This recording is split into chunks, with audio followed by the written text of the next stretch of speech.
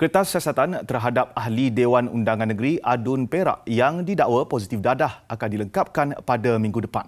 Ketua Jabatan Siasatan Jenayah Narkotik Pulau Pinang, ACP Mustafa Kamal Gani Abdullah berkata, kertas siasatan itu kemudiannya akan diserahkan kepada Pejabat Timbalan Pendakwa Raya untuk tindakan lanjut. Ketika dihubungi, beliau berkata siasatan lanjut masih dijalankan manakala sampel air kencing suspek dihantar ke hospital bagi ujian patologi. Hasil siasatan awal kertas siasatan dijangka dapat diserahkan kepada Timbalan Pendakwa Raya minggu depan. Individu berusia 50-an itu dan 35 suspek lain yang ditahan bersama disiasat mengikut Seksyen 15 Kurungan 1 Kurungan A Akta Dadah Berbahaya 1952 dan mereka dibebaskan dengan jaminan polis semalam. Sebelum ini dilaporkan seorang adun perak antara 48 individu yang ditahan dalam serbuan kira-kira jam 9 malam di sebuah pusat hiburan karaoke keluarga di Prai Kamis lalu.